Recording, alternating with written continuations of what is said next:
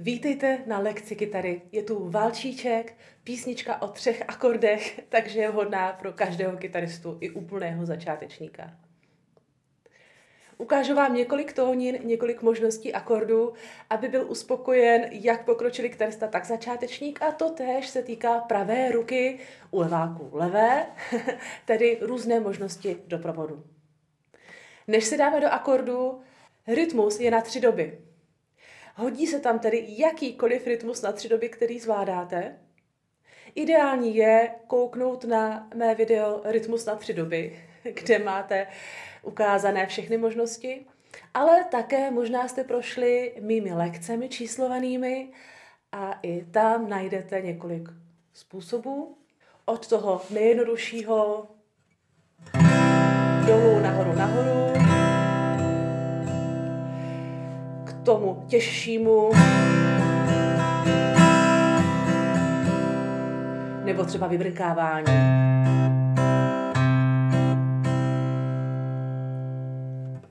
Vždy je dobré ten rytmus už umět, než se dáte do písničky. Tak jenom na to myslete, ať se zbytečně netrápíte. A teď už jdeme k akordům. Začneme originální tóninou, která je C. Je to tónina, kterou uslyšíte na studiové nahrávce. Jestli tuhle tóninu budou mít eh, bratři Nedvědovi potom na svých koncertech, to je otázka. Oni si s tím občas šoupou. Akordy v tónině C patří pokročilým kytaristům, je tam totiž baré akord F. Tedy C, G,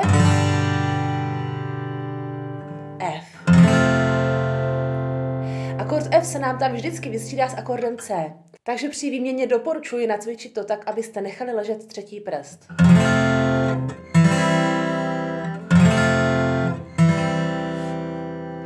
Neplatí samozřejmě pro ty z vás, kteří se naučili hrát akord C tímto způsobem. I takhle se dá zahrát akord C, někdo tvrdí, že je to hezčí, eh, já si myslím, že je to jedno. Eh, tedy, eh, že třetí prst je o strunu výš a pod ním je malíček na struně A. Tenhle ten způsob akordu C já oceňuji pouze v případě, kdy chci vybrnkávat a střídat basy. Ale při normálním backlightu mi přijde lepší tento jednodušší způsob a obzvlášť, když velmi často měníme právě s akordem F. Eh, další věc je ale ta, že někteří z vás hrají akord G ne takhle, ale takhle to patří opravdu jenom těm nejpokročilejším, protože je tady velké rozpětí mezi třetím a čtvrtým prstem. Je to docela problematické. A zase opět, tohle nahrává právě tomu těžšímu způsobu akordu C, protože ten třetí prst z akordu G zůstává ležet a vidíte, takhle se to pak dá vyměňovat, ale věřte mi, že to je úplně to nejtěžší, co může být. Takže velmi ráda se vrátím k normálnímu C a ke G, které učím já, tedy i s třetím prstem na struně H a malíčkem na struně E.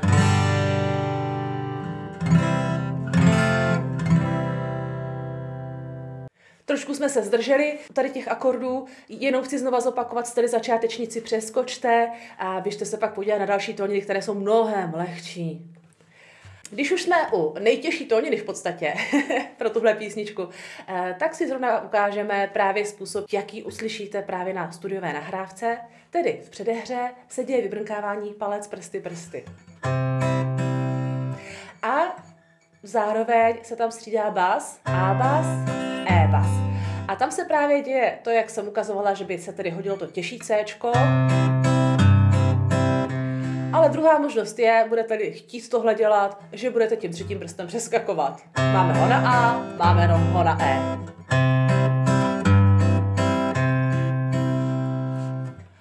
Akord F tady budete hrát s basem na D struně a můžete si tím pádem i ulehčit práci, že vlastně nebudete hrát celé F, ale že tam šoupnete jenom eh, něco jako F maj, eh, první prst ale dáte na placku, abyste chytli dvě struny najednou. Opět nic eh, jednoduchého, takže patří jenom pokročilým kytaristům. No a takhle potom může vypadat předehra.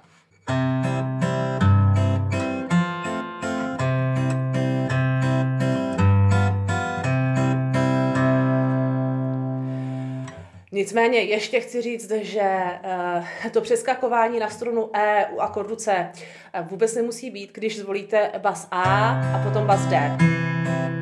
A naopak to tam krásně i spěje do toho F. -ka.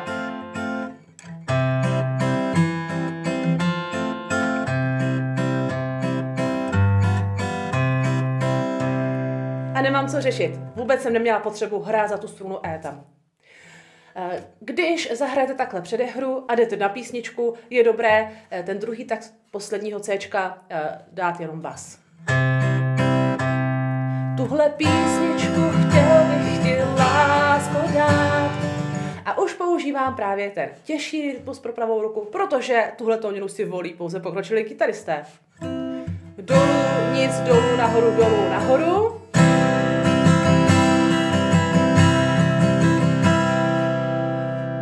A jedem.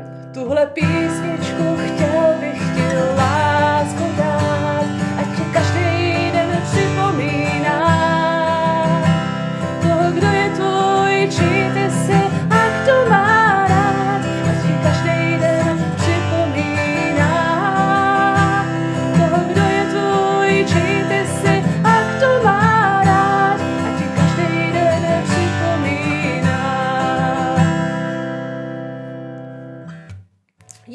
může být jedno vylepšení a to je akord C7.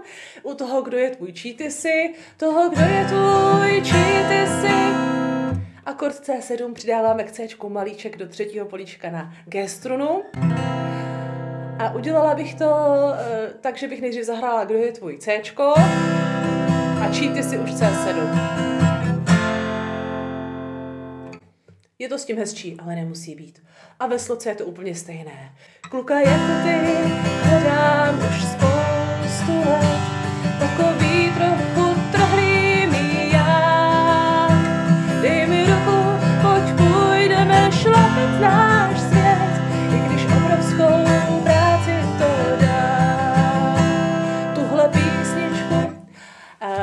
Ať už zvolíte jakýkoliv rytmus, je hezké vždycky na konci, ať refrenu nebo sloky se právě zase zastavit. Práci to dá. Tuhle písničku a pak zase začínáte na to písničku. Ale přesuňme se k lehčím tóninám pro všechny kytaristy a nejen začínající. I já necítím potřebu hrát v C, když mi to půjde mnohem lépe v D nebo v A. To jsou další dvě tóniny, které mám pro vás připravené. A teď ještě do které tóniny se pustit. Tónina D-dur je o tón výš než C. Takže na mě už to bude docela vysoko. Toho, kdo je tvůj, či ty jsi a kdo má rád. Proto já osobně tuto tóninu nebudu volit, když budu chtít hrát písničku, ale teď vám ji ukážu. A na tóninu D-dur vám stačí moje čtyři lekce. Následovat bude tónina A-dur, která je pro úplně největší začátečníky, protože vám na ní stačí mé dvě lekce. A je pravda, že se mě to bude lépe zpívat. Toho, kdo je tvůj, či ty jsi a kdo má rád. Takže to je můj favorit, Ačko. Ale pojďme k Dčku, protože v tónině D to bude sedět spoustě mužů, kteří mají vyšší mužský hlas. Akordy tedy máme D, G, Ačko. Jste začínající kytaristé a jedete podle mých číslovaných lekcí, chci připomenout, že je velmi dobré při výměně D a G nechávat ležet třetí prst a při výměně D a A posouvat třetí prst.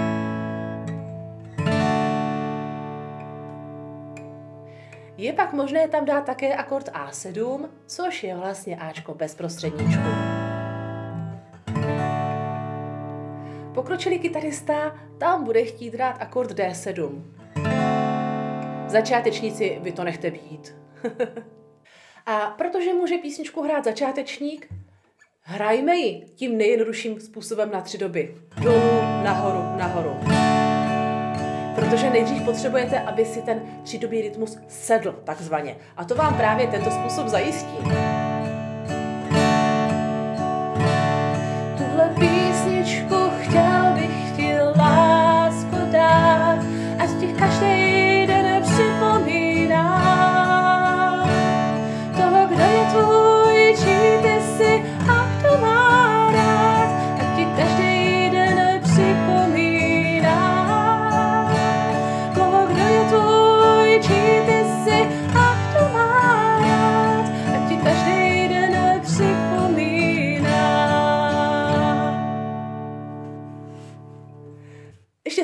Zpívala, no, ale už to není nic moc. A samozřejmě v téhle tónině pokročilý kytarista Ale pokročilý kytarista tam dokáže dát potom i akord D7, který zase dáváte u toho, kdo je tvůj cheaty si. Tvůj cheaty si Může být. A předehra eh, v podstatě se může hrát v jakémkoliv rytmu, klidně můžeme zahrát předehru. 3, D2, 3, G2, 3, D2, 3, tak jak ji máte napsanou a můžete tam i použít to vybrnkávání, tedy palec, prsty, prsty.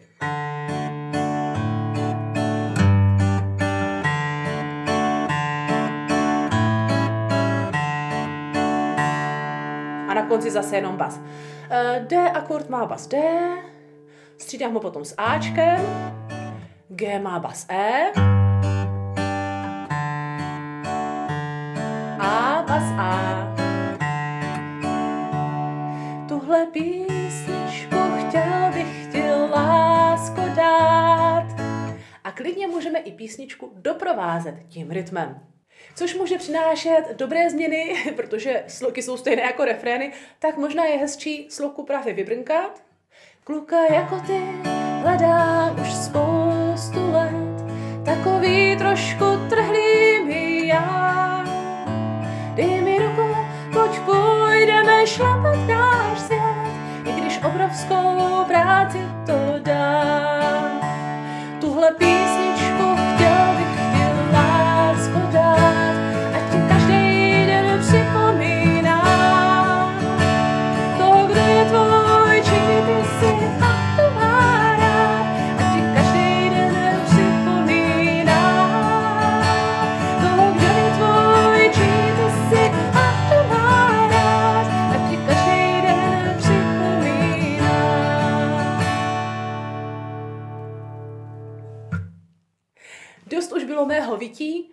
pojďme tedy do tóniny A-dur, která, jak už jsem říkala, je úplně perfektní pro začátečníky a je perfektní pro můj hlas, možná hlas více žen, a je také skvělá pro mužský hlas, který je nižší.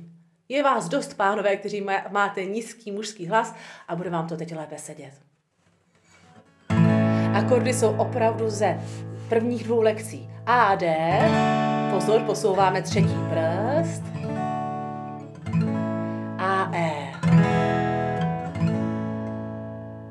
Kdybychom tam chtěli dát nějaké ty sedmičky, A7 je tedy Ačko bez prostředníčku. A kdybyste tam náhodou chtěli dát E7, tak je to Ečko bez třetího prstu.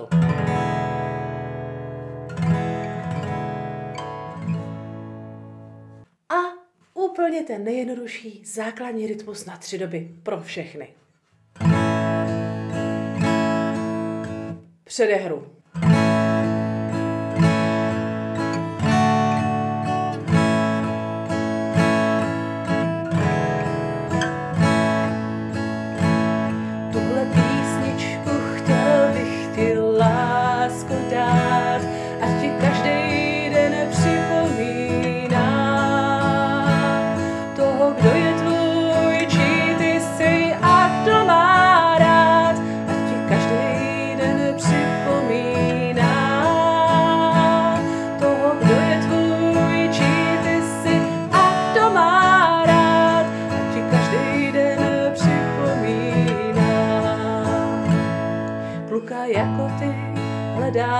Spoustu let, takový trošku trhlivý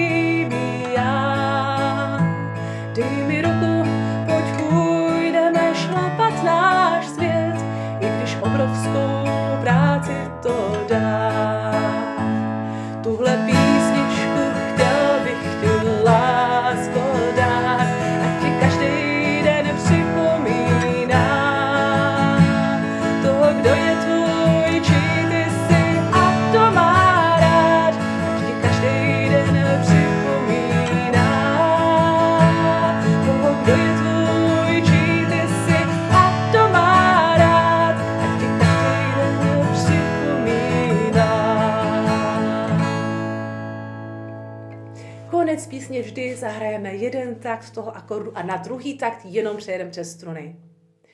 To už jsem říkala, i mezi slokami to tak děláme.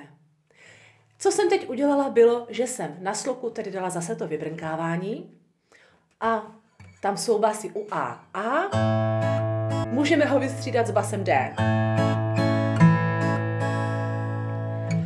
E akord, bas E. Můžeme vystřídat s jakýmkoliv basem. Teď jsem dala D nebo s basem A. U akordu D, tak on je tam jenom na jedno zahrání. Ale kdyby náhodou jsme ho chtěli hrát déle, tak bychom začali na base D a mohli bychom ho vystřídat s basem A. Nikdy ne s basem E, protože do akordu D bas E nepatří. Proto také u tohohle akordu se snažíme tu pravou ruku držet spíše v dolní části kytary. No a potom na druhý refren už jsem dala ten těžší rytmus na tři doby. Tahle písnička, jelikož je na tři akordy, a jsou to základní tři akordy, tak vlastně se dá hrát ve spoustě tónin. Dala by se hrát také v tónině G-dur, to je ještě o tón níž, než byla teďka A. a tam by potom byly akordy C a D. A dala by se hrát klidně v tóně E-dur. Byly by tam akordy E, A a H7.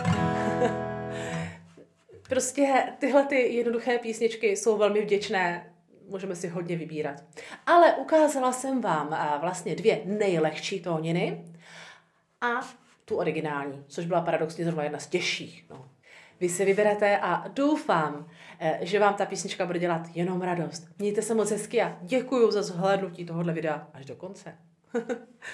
Ahoj.